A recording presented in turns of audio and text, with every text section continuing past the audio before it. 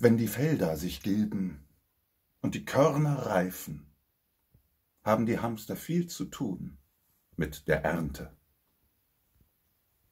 Jeder Einzelne schleppt, falls er es vermag, bis zu einem Zentner an Körnern in seinen Bau. Leinknoten, große Puffbohnen und Erbsen.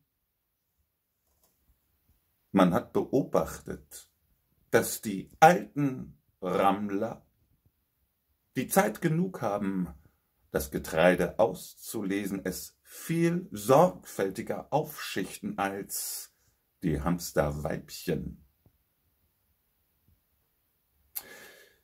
Er biegt mit den Vorderpfoten die hohen Halme um, schneidet mit einem Biss die Ähre ab, fasst sie mit den Pfoten, dreht sie ein paar Mal hin und her und hat sie nun nicht bloß entkörnt, sondern die Körner auch gleich in den Backentaschen geborgen. So werden sie gefüllt bis zum Übermaß. Manchmal schleppt einer bis zu 50 Gramm Körner in einem Gange nach Hause. Man kann sie mit den Händen ohne Furcht anfassen, denn die gefüllten Backentaschen hindern sie am Beißen. In manchen Gegenden zieht der Mensch regelrecht gegen den Hamster zu Felde.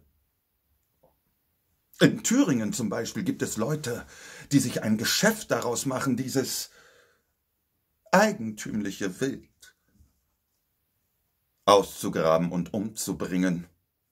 Auch die Fälle werden benutzt.